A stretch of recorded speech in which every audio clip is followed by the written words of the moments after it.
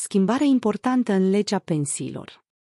Bani în plus la pensie pentru românii cu studii superioare. Cazul în care școala nu se ia în calcul. Legea pensiilor vine cu o serie de modificări importante. Perioada în care seniorii au mers la facultate se consideră stagiu de cotizare. Ce bani se iau în plus la pensie? Bani mai mulți la pensie pentru românii cu școală. Noua lege a pensiilor a intrat în vigoare la 1 septembrie. Aceasta aduce noi modificări, printre care și schimbarea unor ani care devin stagiu de cotizare. Este vorba despre perioadele în care pensionarul a fost la școală. Bani în plus la pensie pentru persoanele cu studii superioare. Astfel, la recalculare, anii de facultate și de doctorat erau considerați stagiu de cotizare se ofereau 0,25 de puncte pentru un an de facultate, pentru patru ani un punct. Un punct este de 81 de lei, deci rezultă o creștere de pensie de 81 de lei pentru o facultate de patru ani.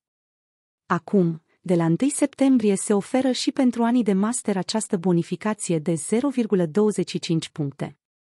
Doi ani de master sunt 0,5 puncte, adică 40 de lei în plus la pensie. În sistemul public de pensii sunt considerate perioade asimilate acele perioade în care asiguratul a urmat cursurile de zi sau, după caz, cu frecvența ale învățământului universitar, organizat potrivit legii, pe durata normală a studiilor respective ori a unui ciclu de studii universitare, de formare inițială, cu condiția absolvirii acestora, acestuia cu diplomă, diplomă de licență, diplomă de master sau diploma de doctor, după caz, se arată în articolul 14 din lege. Singura condiție este ca pensionarii să fi urmat facultatea la zi. În cazul în care cineva a făcut două facultăți, se consideră stagiu de cotizare doar două dintre ele.